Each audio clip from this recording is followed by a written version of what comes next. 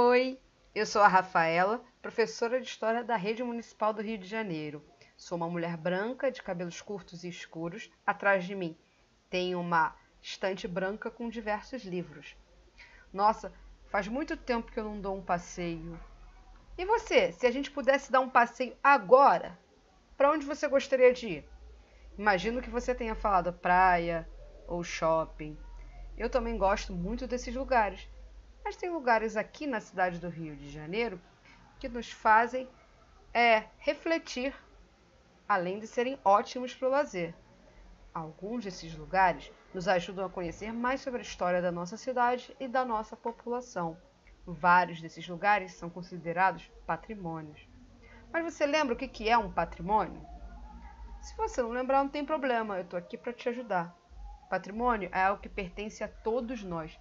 São referências culturais que estão ligadas a um determinado grupo, que fazem parte da sua história, que foram transmitidos de geração para geração, ou seja, do mais velho para o mais jovem. O ato de tornar um patrimônio chama-se tombamento. Podem ser tombados muitas coisas. Por exemplo, sítios arqueológicos, expressões artísticas, paisagens naturais, construções, modos de fazer, festas.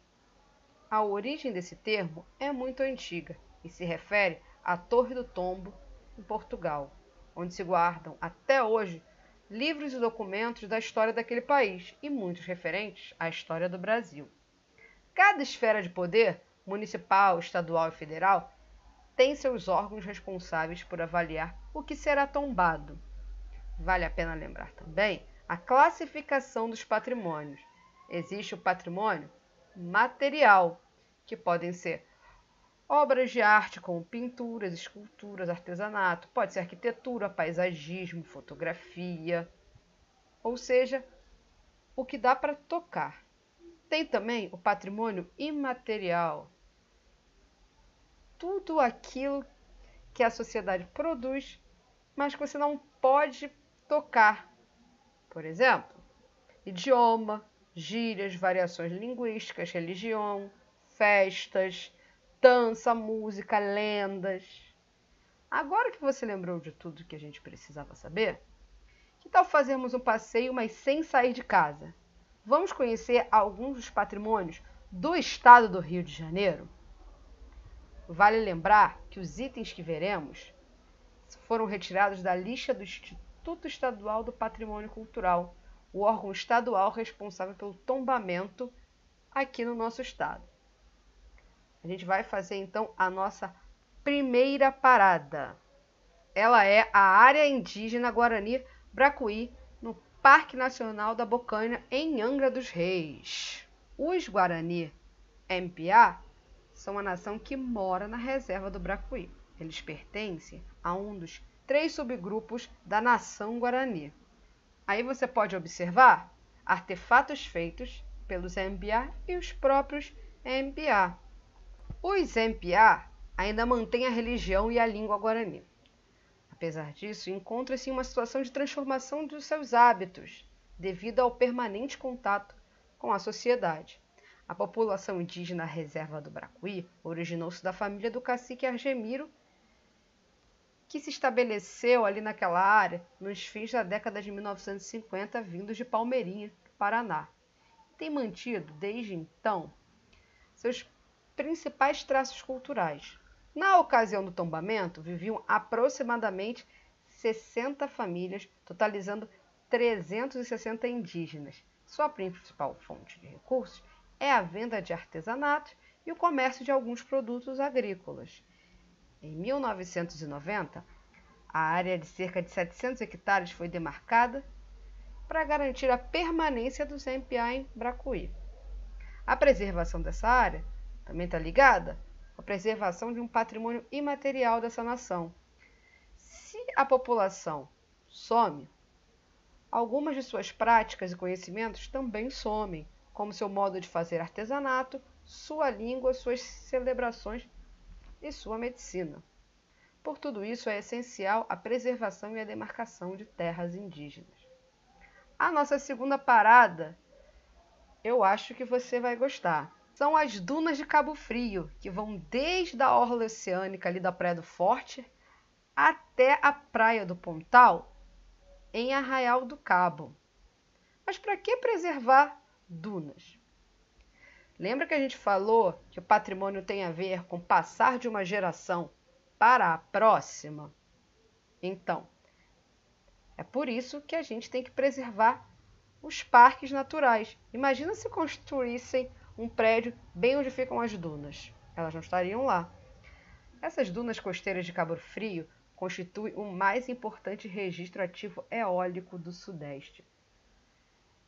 Esse material é alvo de inúmeras pesquisas entre os geólogos, profissionais que estudam a evolução da Terra e da vida que desenvolve nela. Eles estão pesquisando Cabo Frio na busca de identificar o comportamento dos campos de dunas, verdadeiros laboratórios naturais capazes de fornecer as informações sobre como, durante milhares de anos, se formou a paisagem que hoje nós observamos. Bem, já que a gente está ali em Cabo Frio, a gente pode dar uma passadinha na cidade do lado, que é São Pedro da Aldeia, e ver aí a Casa da Flor, como você deve ter observado. Tombada em 1987, a Casa da Flor é a obra de arquitetura e escultura de Gabriel dos Santos, nascido em 1893, filho de um ex-escravizado e trabalhador das salinas de São Pedro da Aldeia. Ela foi montada durante décadas pelo acúmulo de restos, búzios, conchas e outros depósitos da lagoa, detritos industriais, pedaços de azulejo, farol de automóveis. Em 2001, a Casa Flor foi restaurada. E aí, tá gostando? Então a gente já pode ir para nossa terceira parada? É a cidade de Petrópolis e todo o seu conjunto urbano paisagístico. A história de Petrópolis nos leva, nos leva para uma outra época da história do Brasil, mais especificamente lá no Império, entre 1822 e 1889, devido à quantidade de imóveis preservados. Ela foi fundada por iniciativa do imperador Dom Pedro II, tanto que o nome da cidade vem da junção de Petrus, em latim Pedro, com a palavra grega polis, cidade, ficando cidade do Pedro. É frequentemente chamada de cidade imperial por ter sido a rota preferida de Dom Pedro para seus momentos de lazer e repouso. Uma curiosidade: a cidade foi capital do Brasil durante a revolta da Armada entre 1800 1993 e 1903. Nossa, são tantos imóveis tombados e aqui a gente só vai citar um que apareceu aí na imagem, que é o conjunto urbano arquitetônico da Avenida Keller, tombado em 1982, que inicia lá na Catedral. A maioria dos imóveis dessa avenida foram construídos na metade do século XIX ou na passagem do século XX, apresentando uma variedade de estilos. Mas vale conhecer também o Museu Imperial para andar de pantufa e também ver como era a residência de verão de Dom Pedro II, o Palácio de Cristal, a Casa de Santos Dumont. A coisa para conhecer em Petrópolis é o que não falta. Então a gente está indo para a nossa quarta parada. É o conjunto de 12 fazendas representativas do ciclo de café em Valença. São exemplares da arquitetura rural fluminense, vinculada à fase do ciclo do café. Essas fazendas compõem um rico acervo de informações sobre esse período histórico, maneira de viver e a maneira de produzir. São representantes desse breve período histórico mais importante ali no Vale Paraíba Fluminense. Mas a gente não pode esquecer que esse período também é marcado pela escravidão de indivíduos de origem africana e seus descendentes. E essa informação tem sempre que nos acompanhar. Ao visitar essas fazendas, vamos encontrar as senzalas, que era onde esses escravizados viviam.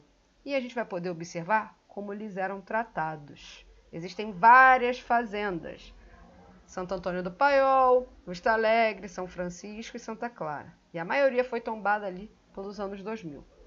Vale também observar, já que a gente está nessa região aí, que existe o Quilombo São José, que é essa foto aí do lado. O Quilombo São José da Serra é formado por uma grande linhagem descendente do casal Tertuliano e Miquelina, moradores dessa fazenda desde o século XIX e que se tornou um lugar de acolhimento de escravizados fugidos, à véspera da abolição da escravidão. Após ter funcionado como quilombo abolicionista, a fazenda foi vendida em 1895 para um médico e político republicano que fez dos quilombolas seus agregados.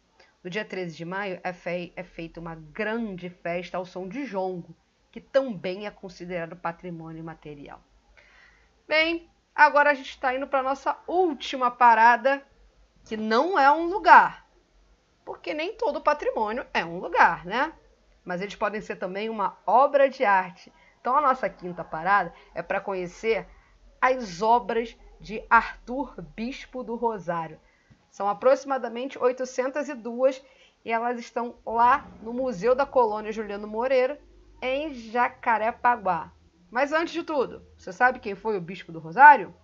O Bispo do Rosário ele é nascido no Sergipe em 1909 e filho de carpinteiro. Olha a foto dele aí trajando uma das suas obras.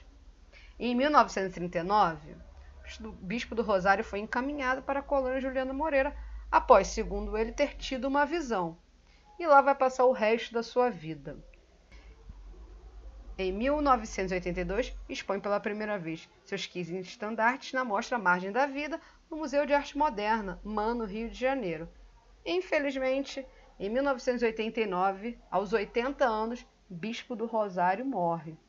O acervo de Bispo do Rosário foi tombado em 1992 e é composto por panos, estandartes, mantos, faixas e outros objetos. Bispo executou uma série de trabalhos artísticos excepcionais. Bem, a aula vai chegando ao fim. Eu espero que você tenha conseguido observar a diversidade de patrimônio que existe aqui no estado do Rio de Janeiro. Você já conhecia algum? Qual? Vale a pena conhecer todos aí da sua casa mesmo, através do Google Earth. Faça uma visita virtual aos itens listados, mas não fique só neles. Você pode pesquisar outros patrimônios. E, através dessa pesquisa, você pode fazer o seu próprio roteiro. Que tal ser um guia por um dia? Escolha um tema, faça uma lista, estude e chame alguém, mostre o seu roteiro. Bem, espero que tenha gostado. Até a próxima e tchau, tchau!